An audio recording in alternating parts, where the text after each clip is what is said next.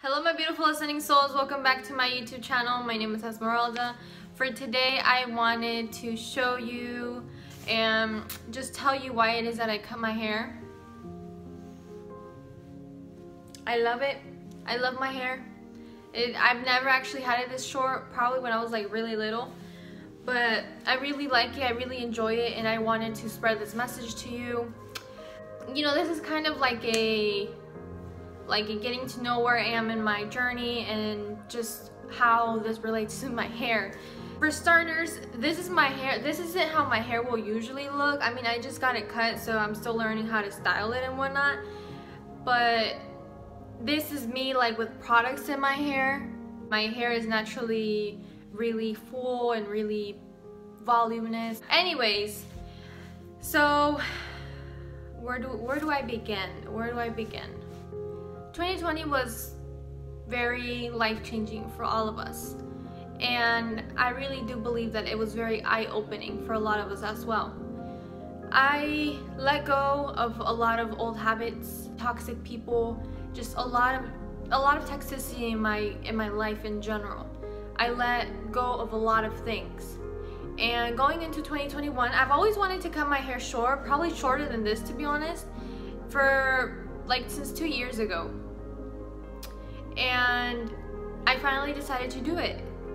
And I know there's going to be people saying, oh, well, you know, your hair looked better while it was long, or thank you, but I didn't ask for your opinion. Your opinions are just a projection of your own insecurities, you know? And I think society already does that enough where, oh, you have to look a certain way for you to feel beautiful, for you to just love yourself. And I really don't think that's true, you know? All of us were made different. All of us are perfect in our own way because we are all unique. And by you doing what it is that you love doing, no matter what other people are going to say, this is something that makes you empowering. This is something that makes you unique. So I'm here for all of you. I'm here for every single one of you, whether it is that you want to cut your hair short whether it is that you want to grow your hair out whether you shave whether you wax whether you're not like everybody's unique in their own way and this is something beautiful and this is something that we should embrace and not bring other people down for so getting into why I cut my hair in my spiritual journey I feel like from 2020 to 2021, I've gone through this transition where in 2020, I was leaving my old self, the person who I really wasn't, the person who projections of other people got onto me and then became my beliefs. I left all of that behind.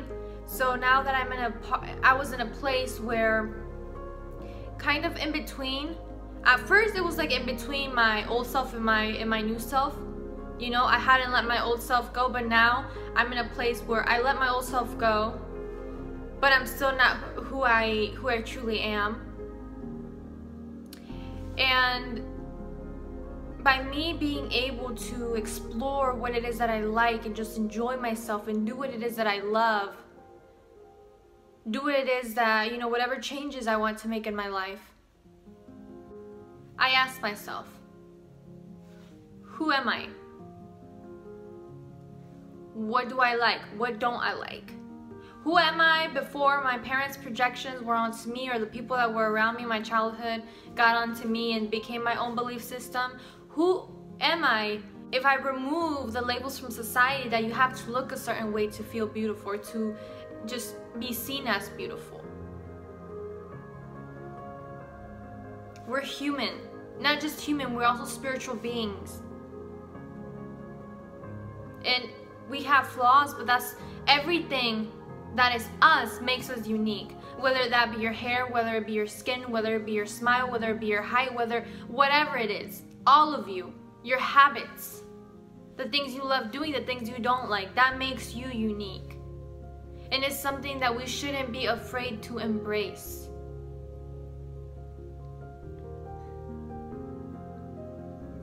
So yes, I cut my hair short. Do I love it? I absolutely love it. Don't be afraid to take risks in your life. And if you know there's people that aren't serving you, you want to evolve, know that there's going to be people that you're going to be attracting who are also wanting to evolve. But if these people you are surrounding yourself with aren't evolving, it is time for you to let them go and move on to better things. By me cutting my hair, you know, the story behind this is that my father, my pops, my pops, I'm gonna call my pops, didn't allow us to cut our hair when we were younger. Only trim it a little bit, but he didn't allow us to cut our hair. So I always had long hair growing up. And you know, me being a little girl, I didn't really care. I love my long hair. And then it got to the point where I actually wanted to start cutting my hair and I wasn't allowed to. This 2021, I really want to make this the best year of me enjoying myself, loving myself, and exploring who I am. Whether this be I cut my hair short and I keep it short, or whether this be I cut my hair short and I let it grow out. We are always evolving and we're always changing. If you are changing, that's a good thing because that means you're evolving. So don't be scared to do something that isn't considered the normal thing to do. Because nobody can tell you what to do or not to do. By me cutting my hair, I felt like I was releasing my past. And a lot of people say, oh, long hair makes you feel empowered. But for me, having short hair makes me feel empowered because it makes me feel confident. And I'm not afraid to show my real hair, show my real skin. You know, we all have some imperfections here and there. I break out here and there, but my skin, this is the best it's looked in years. So there's no shame around how I look. There's no fear around how I look, and I own it. And if somebody can't respect that you own your confidence, that you own who you are because you know yourself, then there's work that they need to get done because that's just their own projection and insecurities. We all go through ups and downs in life. But if you're currently going through your spiritual awakening, if you've been going through it for years or not, I admire that. I admire that you're taking the time to break generational cycles, to break old habits, to break just toxicity. Because you have the understanding that living in the past brings depression and living too far into the future brings anxiety. So all you want to do now is live in the present, which will bring you peace. And it's challenging. I'm not saying it's easy. It's challenging because you have to look at your shadow aspects and bring light into them. It's challenging, but it's worth it. It's worth it because you become your better version. you you become your best version. It takes effort, it takes determination. But don't ever give up. For no one. Change for no one but yourself. And that's only to be your best self. To be your truest, most authentic self. Go out into the world embracing who you truly are because there is no fear that you should have to be able to show who you truly are. You should embrace this. Make that change. Let 2021 be the year you make that change.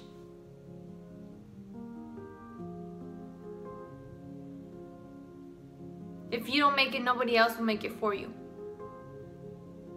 And maybe there might be people around you that you don't that they don't understand what you're going through, but that's okay.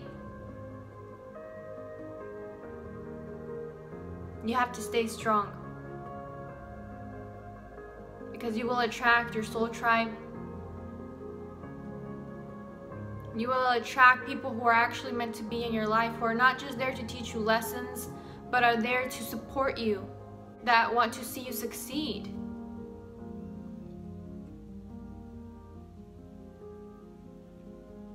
Make that change today because that change could be the best thing that has ever happened to you.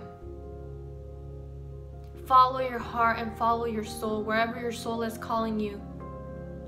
Whether this be moving, whether this be exploring who you are, you know, what type of styles you're into, whatever the case might be, this isn't limited. You are unlimited. There's so many possibilities and opportunities out there for you. Don't let somebody's insecurity, somebody's projections, somebody's fears stop you from doing what it is that you want to do and what it is that you love.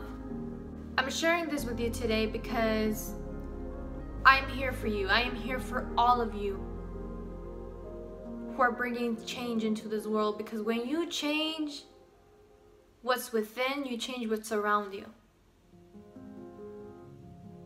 When you change and you elevate your vibration, you're not just elevating yours, you're elevating everyone. Life is beautiful.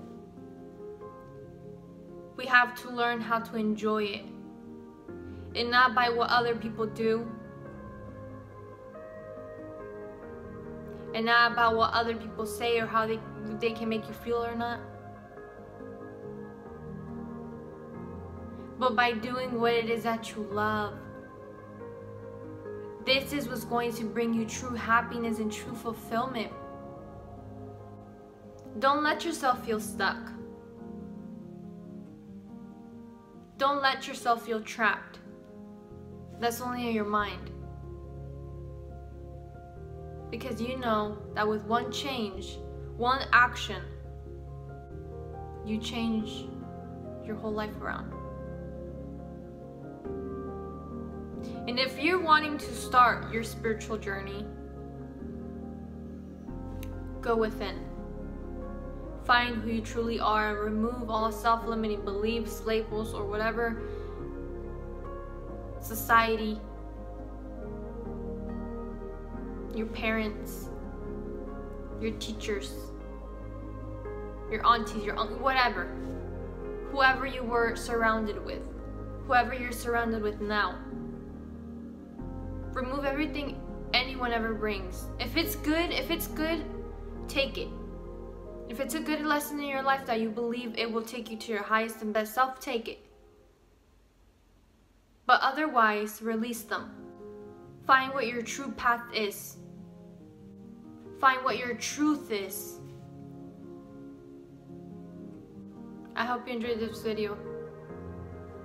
If you did, let me know down below. I would love to get closer to the growing community.